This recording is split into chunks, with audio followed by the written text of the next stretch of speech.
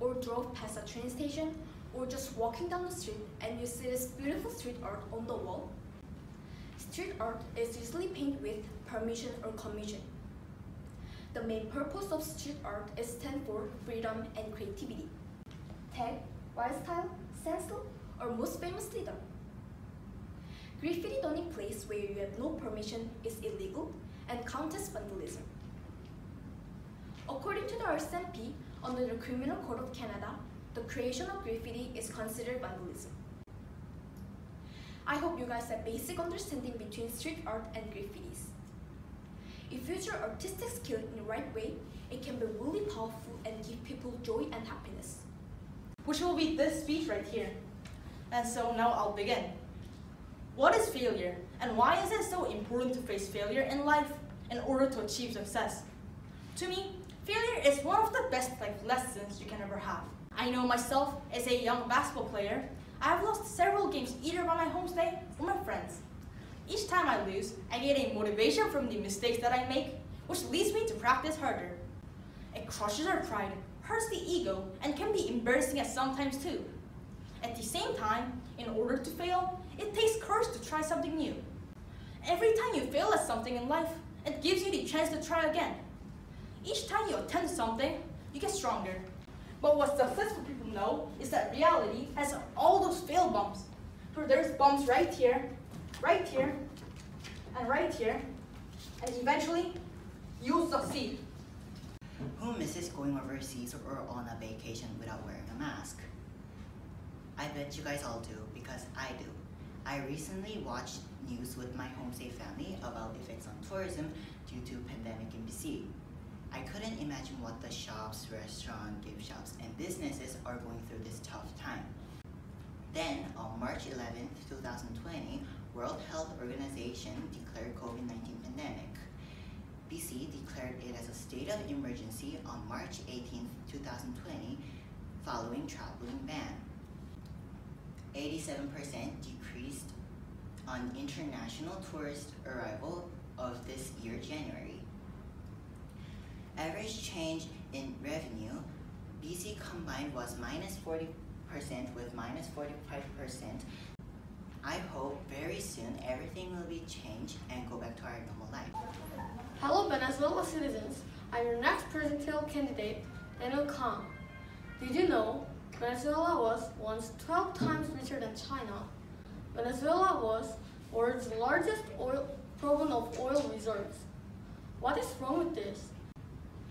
As we focus on natural resources other than oil, if demand of oil goes down, there will be less impact in Venezuela's exports. As government increase money supply, price rose as in regular inflation. Instead of tightening up money supply, government printing more and more. I hope you follow my plan and trust me. Thank you for listening my speech. Vote for Kang. Do you think Google is the death of libraries? Personally, I disagree as I think Google and library are two different categories and have no conflicting connections. In this speech, I will explain why libraries are not dead anytime soon. Google can give you a million answers, but the librarian will help you find the right answers. Also, libraries isn't a place where people can where you find the book and go home. People value libraries as enjoyable recreational and academic additions to their communities. There are so many programs such as story time, book club, or even a place where you can study for a test in peace. I don't think the topic of Google is the death of libraries is relevant in deciding Objective of my speech today is America should ban guns.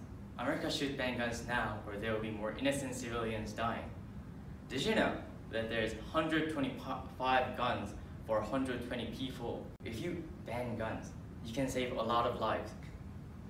It's already been proven from UK and Australia that strictly tightened laws can save lives. Gun deaths are not only intentional. Little kids can think as a toy and accidentally triggering the gun. To conclude, I think it is to blame for the government not strictly tightening the law or doing something to a law, but NRA is too strong that they can't do anything to it. And they also use Constitution and Second Amendment, which is from Constitution, and that was made in 1700s. Filmed by Stanley Kubrick. Despite the effort of NASA, it eventually has become the most famous conspiracy in the world. Controversially, the two opinions both have its own reasonable proofs. However, on a personal note, I firmly believe that Apollo 11 did really land on the moon. However, as you can see through this picture, you cannot find a single star. Therefore, this opinion has been taken as one of the most main ideas in this conspiracy.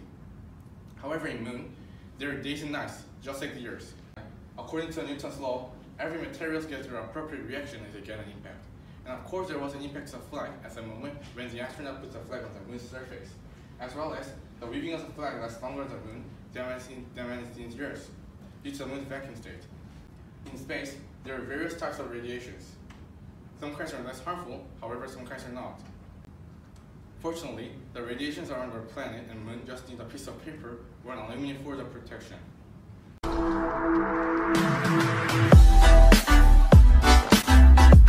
Oh,